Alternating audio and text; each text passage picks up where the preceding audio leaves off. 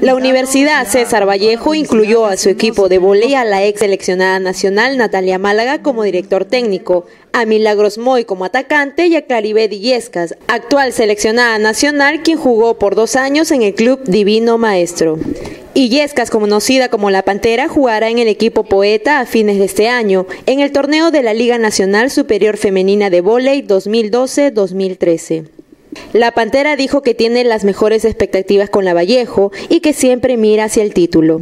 Según Kelly Acuña, directora de organización del Club Poeta, el objetivo es convertirse en un equipo protagonista con miras al campeonato.